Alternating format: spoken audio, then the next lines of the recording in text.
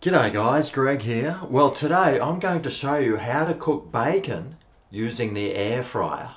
Now there's no doubt in my mind Australia has the best bacon in the world and ours is usually a little bit thicker than the other styles of bacon. So this is for Aussie bacon. So you might want to adjust the time if you're using that skinny thin bacon.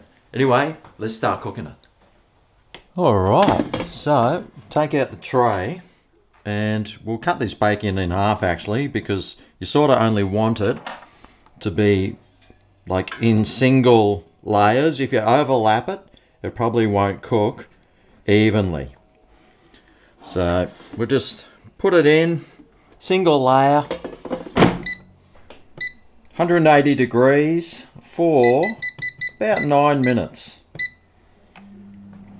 Now bacon has a smoking fat point of 190 degrees Celsius, so if you put it at 180 degrees Celsius, it won't smoke your kitchen out. And another thing is if you overcrowd the basket there, some of the bits underneath won't cook properly, so you got to sort of keep them all separate. And while that's cooking, how about we just throw some eggs on? Because what goes better with bacon than eggs? All right, well, the nine minutes is up, and here we go.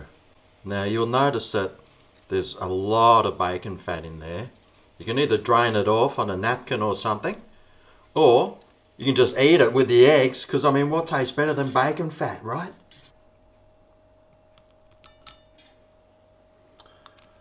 Oh, yeah.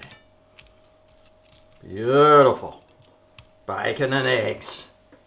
You can see how beautifully cooked that fat is on the outside. The meat is very nicely cooked as well.